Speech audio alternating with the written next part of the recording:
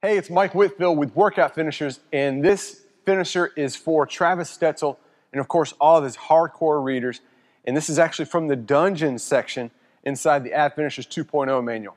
So, what you're going to do is you're going to do this circuit as many times as possible in six minutes. So, as soon as that six minutes is up, boom, you're done. And uh, of course, you're going to stop right then and there wherever you are in the circuit. Now, here's a couple of twists to it. Each exercise is to be done for six reps. Very simple to remember, all right? This is why it's called the Sick 6. So each exercise is done for six reps, and of course, you're going to go through the circuit as many times as possible in six minutes.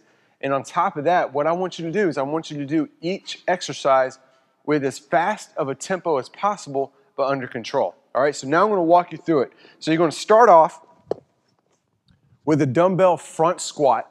So by putting that load in front of you, your abs are going to have to work harder to stabilize themselves. And that's what we're wanting to do. We're wanting to hit those abs while at the same time improve our conditioning.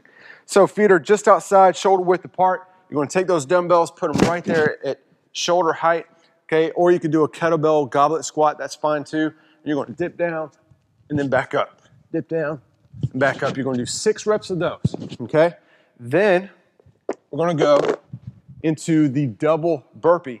Now, my version of double burpee is when you go down, kick your legs out, and then do two push ups in, and then jump back up. Now, if you want to take it to the next level, you can certainly do two jump squats. So it'll look like this one, two, in, jump up, jump up, and that counts as one rep. All right? So you're going to do six reps of those. Then you're going to go into the Spider Man climb. Again, we're going to hit those abs really hard. So you're going to assume the push up position. Okay? Hips are low. You're going to take that foot, put it on the outside of the same side, outside of the hand, and then back. Out and then back. You're going to do six reps per side on those.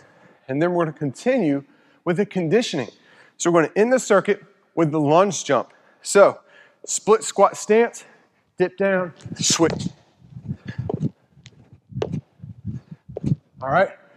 So you're gonna do six reps per side on those. Now here's the very challenging part. Remember the first part of the circuit is that, uh, that dumbbell front squat.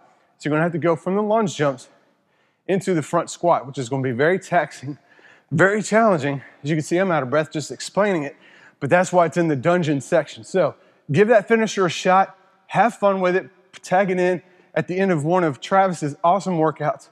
That'll take your conditioning to the next level while at the same time making your core a lot stronger. All right? Talk to you next time.